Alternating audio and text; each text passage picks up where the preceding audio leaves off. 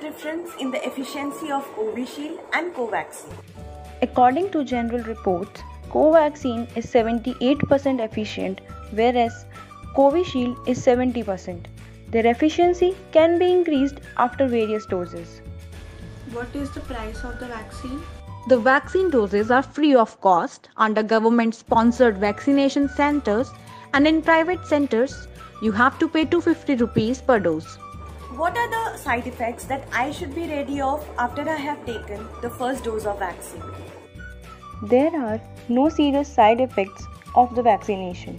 However, the person administered with the dose of Covaxin and Covishield may encounter fever, fatigue, and muscle pain. Who should not get vaccinated? People with a severe allergic reaction to any component of COVID 19 vaccine should not receive the vaccine.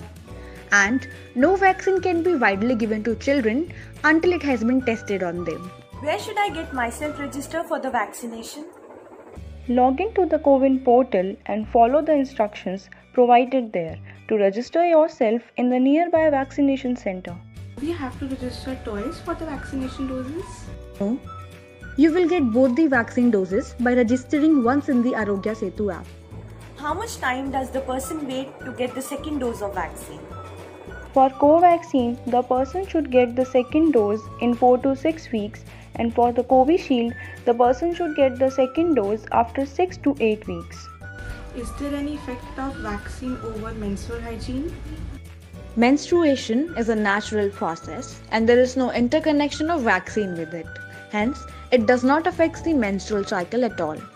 If after the vaccine I observe high fever, what shall I do?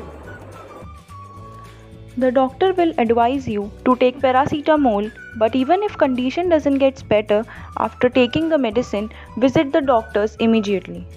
Can we be get infected even after the vaccination?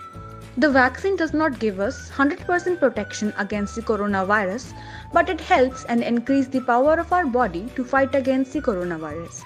If the person has taken two doses, is it necessary to wear mask or not? No, the immune system takes 2 to 3 weeks to work against the coronavirus and hence mask and sanitization is very much important till the pandemic is not eradicated completely.